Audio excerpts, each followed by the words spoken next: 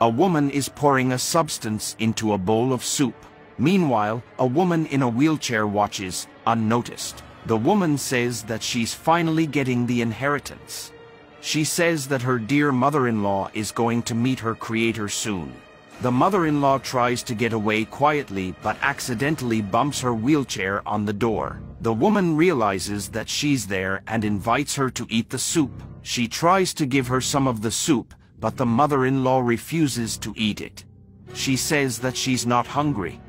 The woman insists on giving her the soup because the doctor said that she needs to have a balanced diet. The mother-in-law says that she's really not hungry and starts to cough when the woman tries to force it down her throat. She asks the woman to fetch her some water or juice. The woman goes to the kitchen to get some water and the old woman swaps the bowls.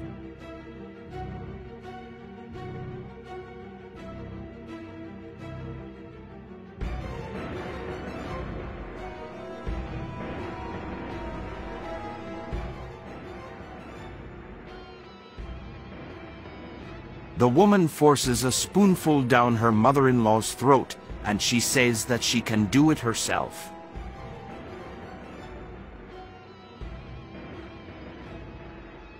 The woman eats a spoonful and checks her phone.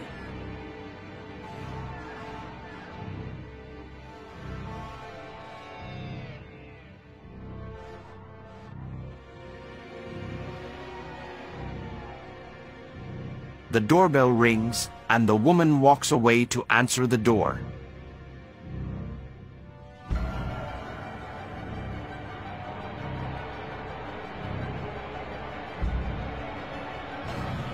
Outside, she greets her lover. He says that he's excited to become her new husband. She says that she just poisoned her mother-in-law's food, just like she did to her late husband. He says that she'll be able to keep the inheritance. The young man says that they're going to split it,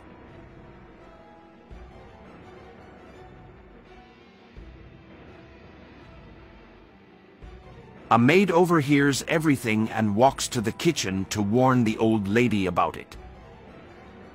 She approaches the old lady and tells her to spit it out. She says that she heard her daughter-in-law talking to her lover about how she was trying to poison her, like she did to her son. She tells her not to worry because she saw her pouring the poison into one of the bowls and then swapping them. The maid, relieved, says that she has got an idea. Outside, the woman invites her lover to eat some soup. He agrees to eat as soon as they're quick. Inside, the maid transfers a bit of the soup to another bowl and asks the old lady to lend her her phone.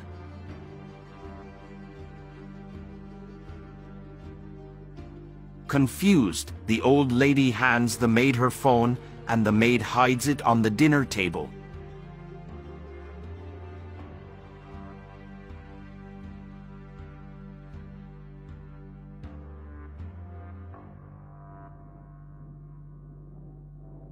Minutes later, the couple arrives.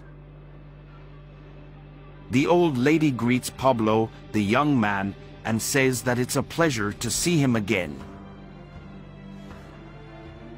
He says that he was like a brother to her son.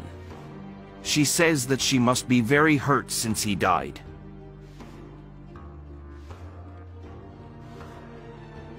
Pablo says that his mate's death broke his heart.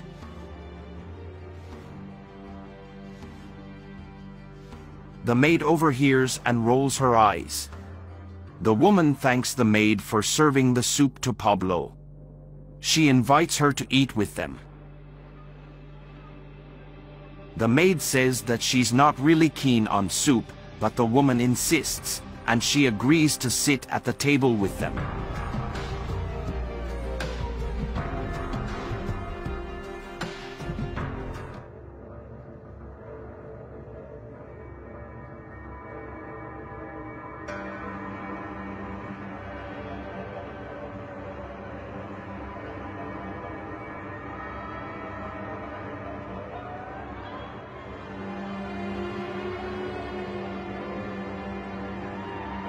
The maid eats the soup reluctantly. The widow tells her mother-in-law that that soup reminds her of her late husband. She says that it was his favorite soup. She says that when she was ill, he only wanted to eat that soup. She tells her mother-in-law that she's sorry to remind her of that painful moment, but she was just missing him. The widow says that it's delicious.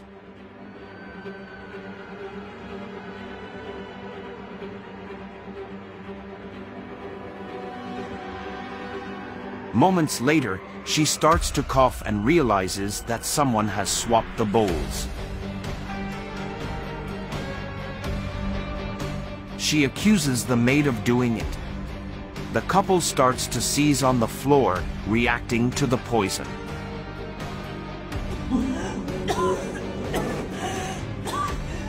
They beg for help.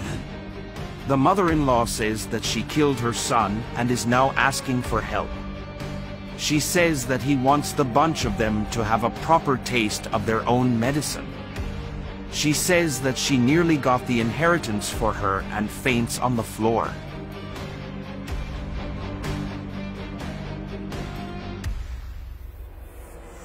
Later, the couple is handcuffed in a hospital bed.